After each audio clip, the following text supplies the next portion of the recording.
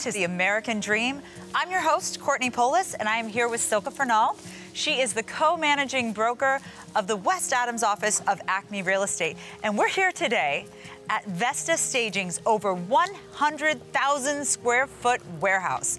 It is full to the brim with furniture and supplies needed to stage some of the most expensive houses in Los Angeles right now. Brett Baer is the founder of Vesta, and he has uh, currently the one staged.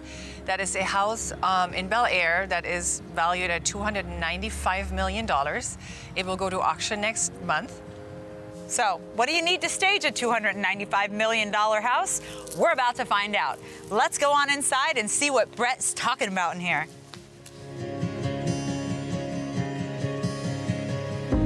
Here with Brett Baer, who is the founder of Vesta Staging and also an Acme client. Thank you so much Tried for having and true.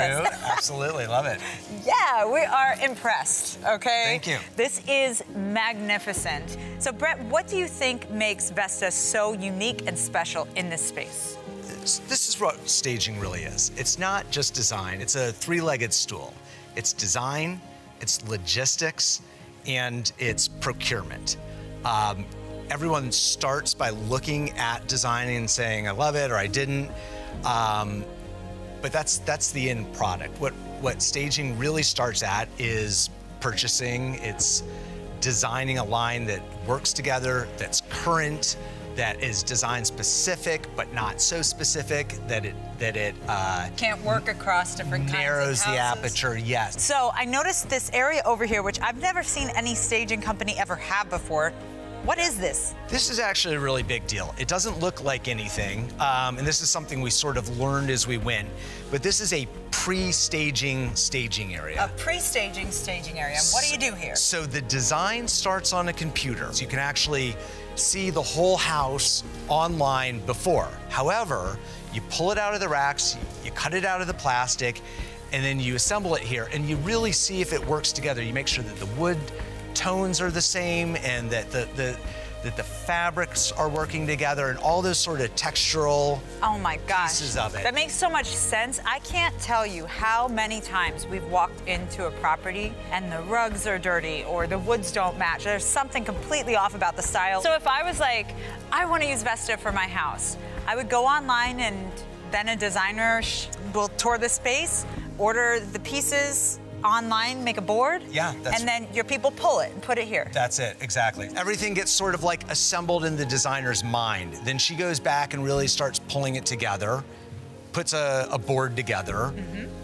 runs it through, gets it approved so that we don't have to drive furniture 50 miles across town. And uh, once it's agreed upon, it gets downloaded, it gets quality checked, and then it goes out into the field. We, we really build into the whole process time for the designer to think, to experience the house, and to really work through it on her own schedule and her own time frame. That's really where we're moving the company is towards a much more customized, curated. A custom stage. Custom you hear that, stage. people? Well, thank you so much for your time. It's a pleasure to see you as always. Yeah. In my experience, good staging can make a home sell for top dollar. Bad staging can kill the deal, wouldn't you say? That is absolutely true. You walk into a house that is staged, and you have a very different emotional response versus going into a house that is empty. It's a lifestyle. It creates the possibility of how can you live? Where can I put my coffee down for the next six years every day and love where I am? And that's what staging does. Yep, the sizzle with the steak. I'm going to be sizzling on the next episode of The American Dream. We'll catch you then. Thanks for joining us. Bye.